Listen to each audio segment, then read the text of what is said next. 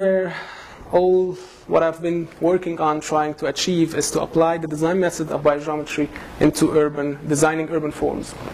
So basically urban spaces are composed of three components, public spaces, semi-public spaces, and private spaces. And it is very well known by uh, designers or urban designers, including Kevin Lynch and others, other uh, famous designers, that the public space is the most space that affects the whole city. It's the most space that is found in the city, and accordingly, from that approach, if I worked on the public space elements, and this in the future will be applied, then public spaces, if they are balanced by biogeometry, then we have more balance in the city compared to other spaces. Uh, this have been applied through different two phases. The first one is biogeometry environmental studies is to uh, work on uh, all the natural sources that emanate from Earth as well as detecting the electromagnetic sources in any space and then solve or directly give a solution, direct solution to them to cancel their harmful effects. The other one is biogeometry design of urban forms, which is either I applied this or not, but by designing the space through biogeometry, then I'm, I'm, applying balance in the space without even correcting. It's like will be corrected automatically. This is the, the guideline that I uh, proposed, which is having uh, biogeometrical uh, environmental studies, first detection and then evaluation. And then from that, we have an existing problem that I can directly use the biogeometry design method and create shapes to solve that problem. And accordingly, I would have a balanced urban space. Well, if we have new needs, and I'm not going to do all of this, or I will do it, which is considered a plus, is to using specific for design method to design urban elements, including streetscape, landscape, and so on. And then accordingly, the space is automatically balanced. The first step is detection. And the natural energy sources, if we have a land and we're going to study it, so I need to first detect the underground waters, to detect the Hartmann grid, to detect the Curry grid, and to detect the Benker grid. These are the four major energy grids that need to be detected. Of course, there's others that could be uh, uh, known by different geologists. If they detected, that would be a plus. Uh, and of course, the detection here will be through the radiesthesia practicing detection for the electromagnetic sources. So if we have the space, I need to detect the uh, cell phone towers in, this, uh, in the surrounding area, transformers, high voltage power lines, underground power lines, and so on, all of these power uh, uh sources. And the detection is through site observation and checking official map for electrical infrastructure. The evaluation. Uh, for the natural earth energy, the evaluation is basic, uh, is uh, depending on the radiesthesia measuring. But there could be indication to know the harmful spots that comparing to other spots, which is intersections. We said that the more intersection of different energy grids on one spot is the more indication that this spot will be very harmful.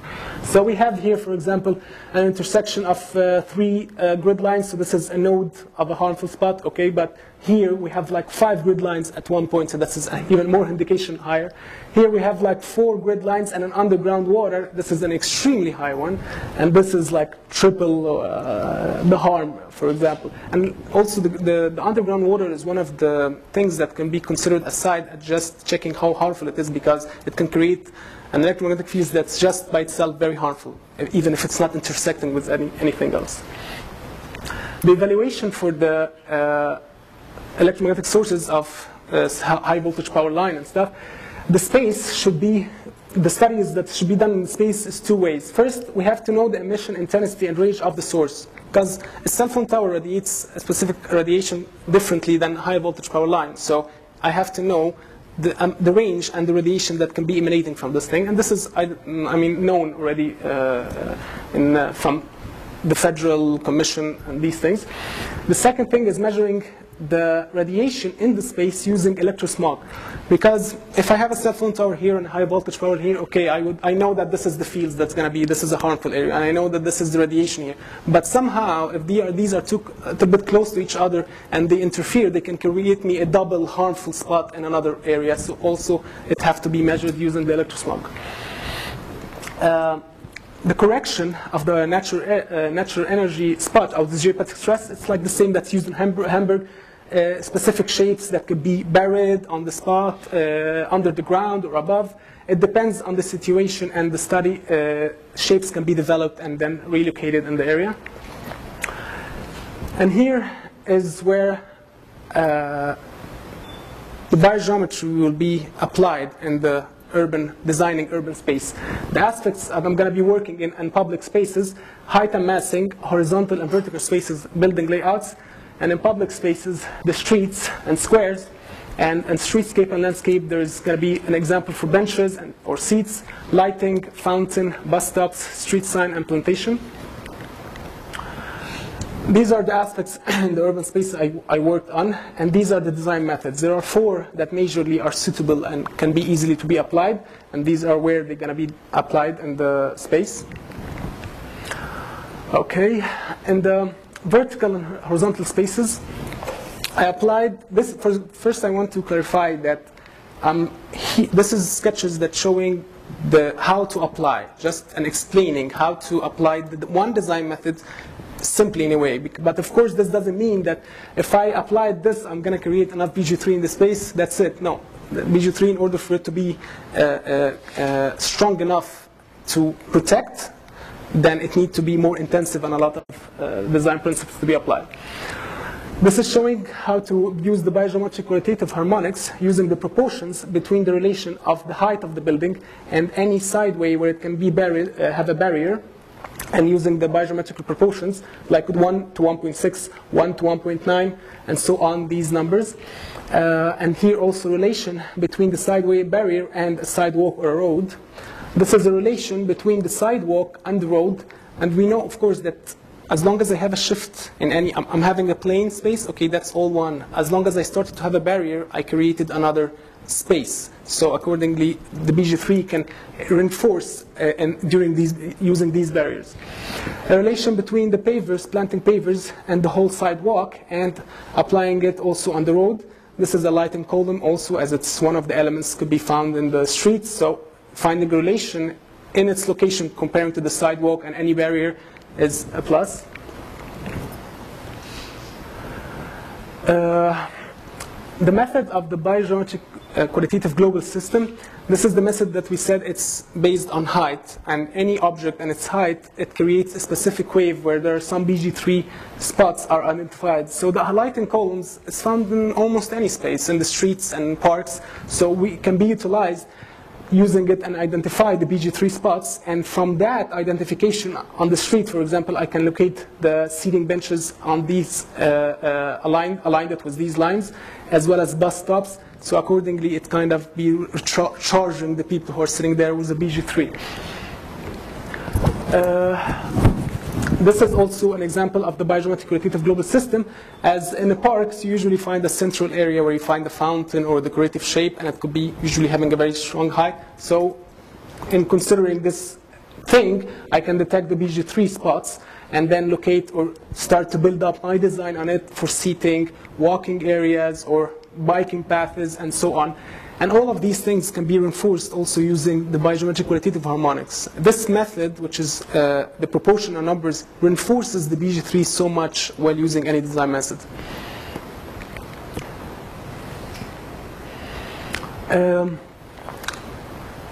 there are some uh, forms when we have an identical object, uh, identical objects, if they are numbered, if they are four identical objects, there are some forms related to this number, four, which is this form as you see, it almost looks like Mercedes four shape.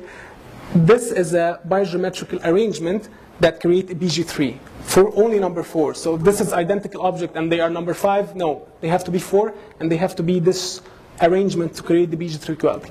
For number seven, identical seven, identical object, there's this shape, and for number 12, there's this shape. So from if we're having seats in a park or in a garden or whatever, we can place, if we have identical benches, for example, so we can arrange them in this, so we're creating BG3 in the context of the space.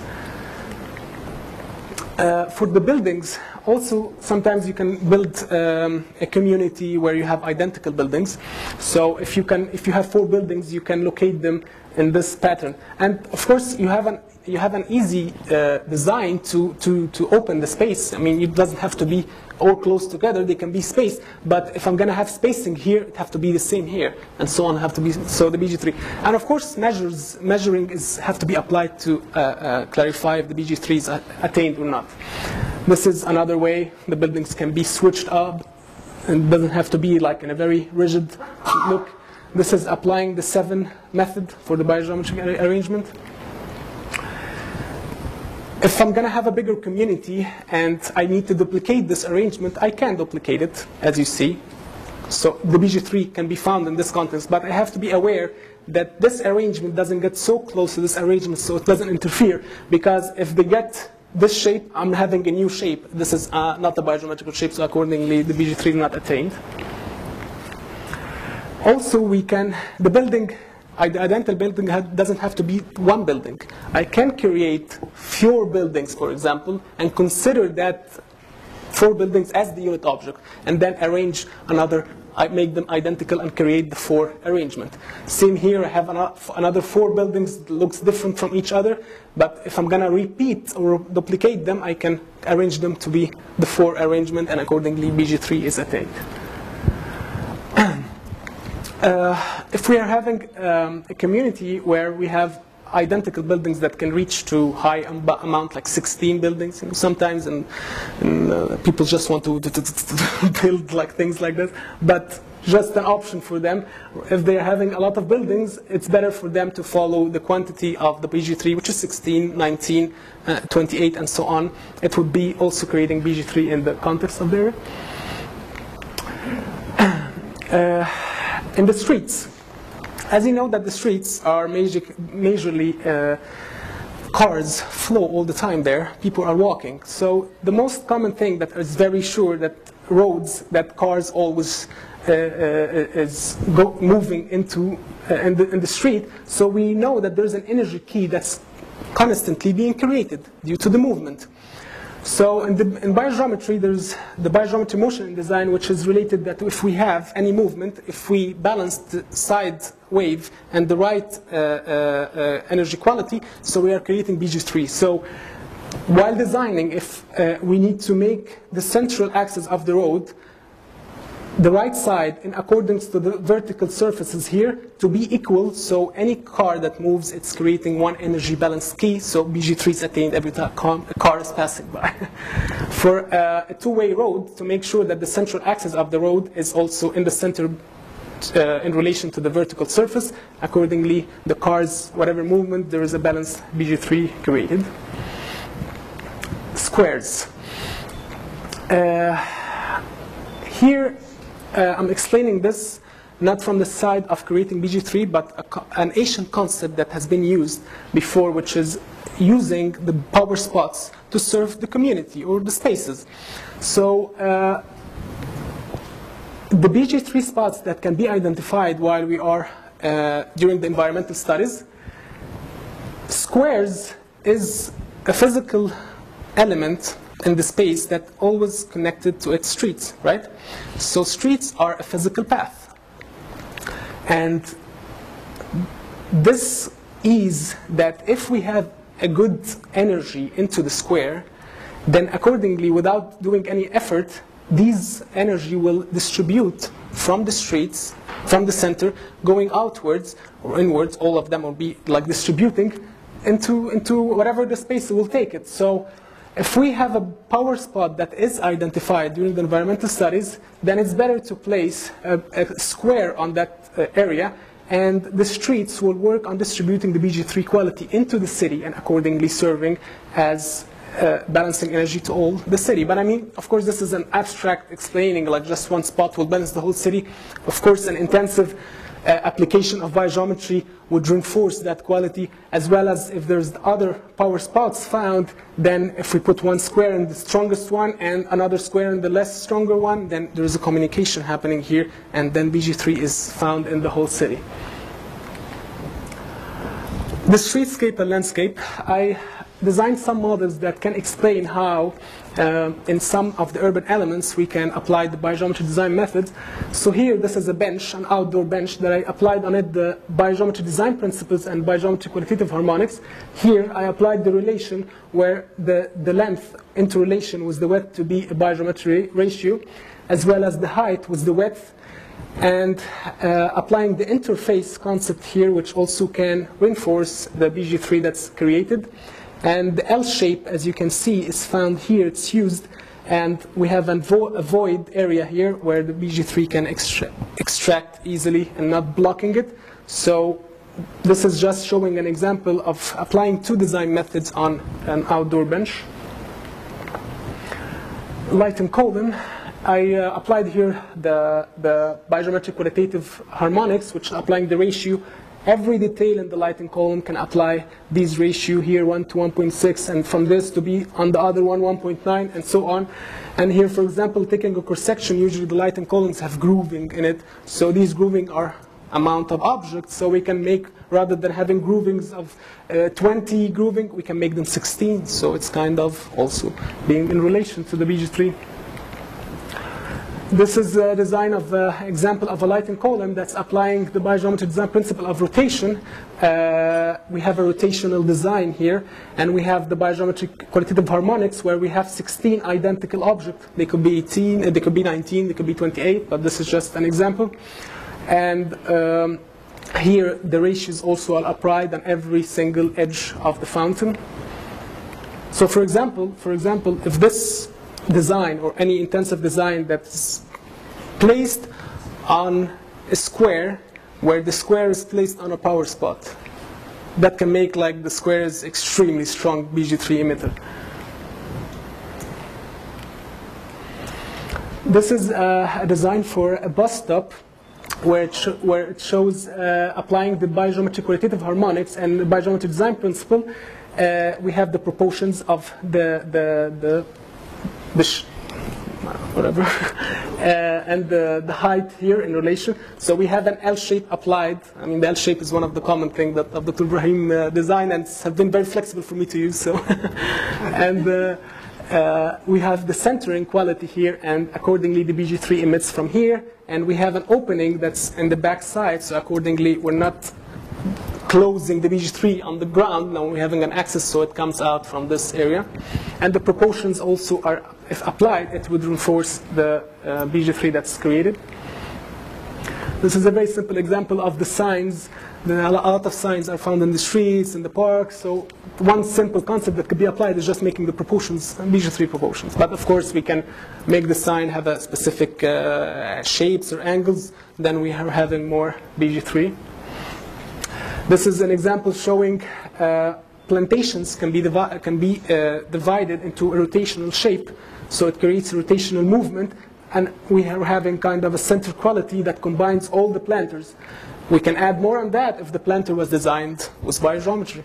So this is just to show the applicable uh, application.